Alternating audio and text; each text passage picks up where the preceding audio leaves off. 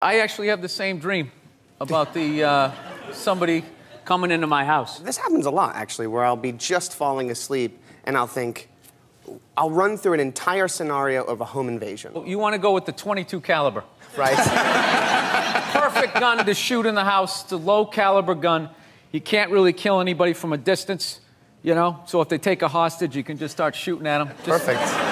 Just let it go. You don't have like a 44 Magnum. It's like you're gonna shoot through the guy, through the wall, blow your dog's brains out, and like drop the engine out of your car. It's just way too much. So if you're in the house and you miss, now you can't hear. You're blinded by the muzzle flash. This guy's coming around your bed with a sickle, and you're shooting the wrong way.